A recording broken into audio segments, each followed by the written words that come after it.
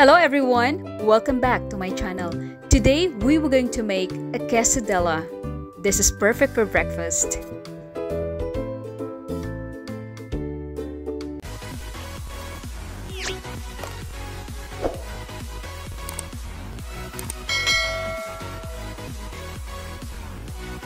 Ito yung mga ingredients na kailangan natin sa paggawa ng ating quesadilla.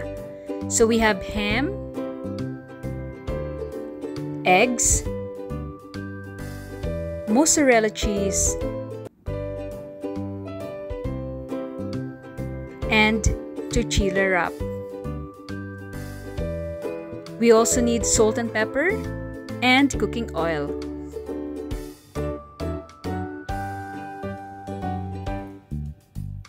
So ngayon, isa-slice lang natin ang ating ham. Slice lang natin ito into cubes.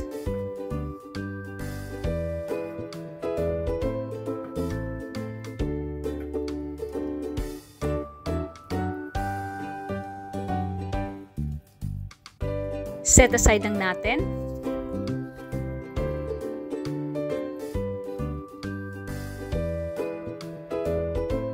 And now we're going to beat our eggs.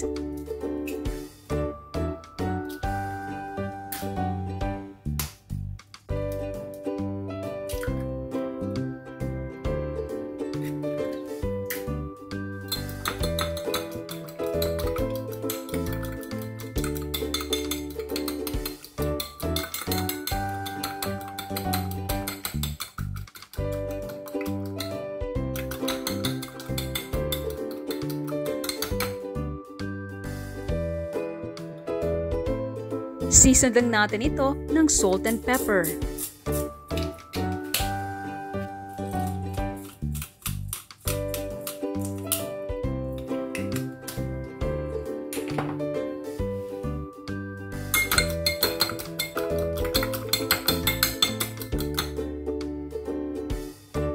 So now all the ingredients are ready. We have egg, mozzarella cheese, sliced ham, and our tortilla wrap. Ngayon, lutuin na natin ang ating egg.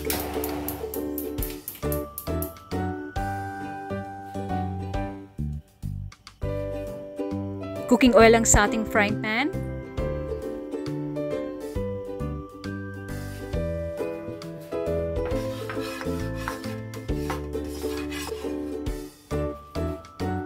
Pag mainit na ito, ilagay na natin ang ating egg.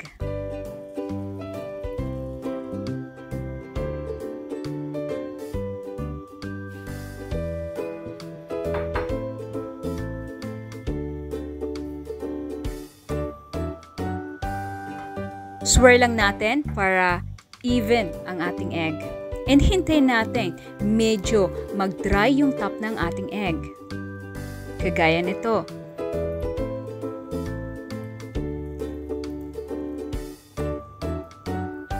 Ngayon, sprinkle na natin ang akalahati ng ating mozzarella cheese.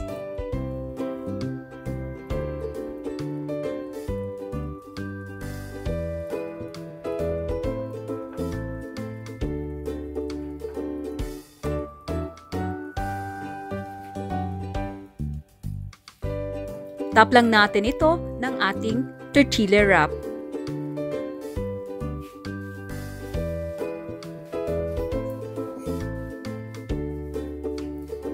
So ngayon, ipiflip lang natin.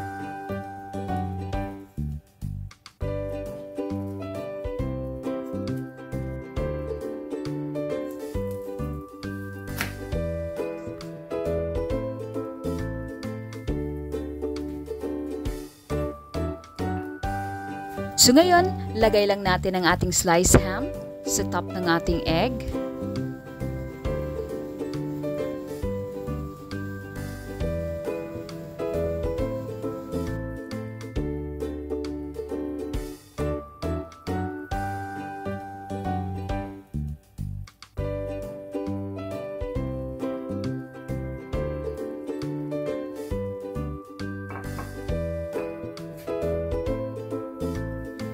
And sprinkle lang natin ang kalahati ng ating mozzarella cheese.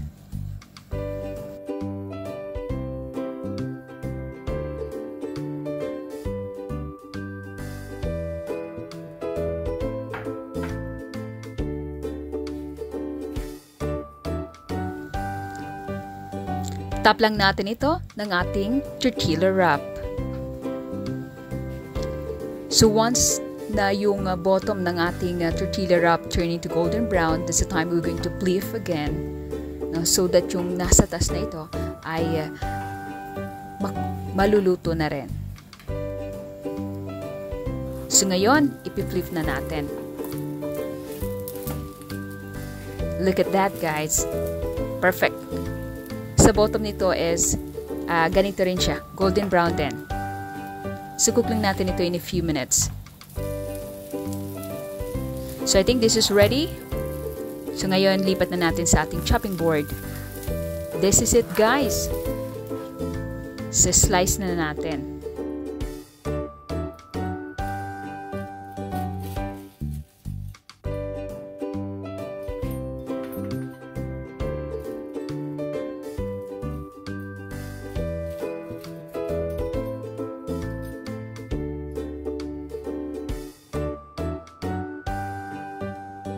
This is actually yummy breakfast and uh, I know that if you cook this, your kids would going to love this. Look at that guys. This is absolutely delicious. Can't wait to taste it.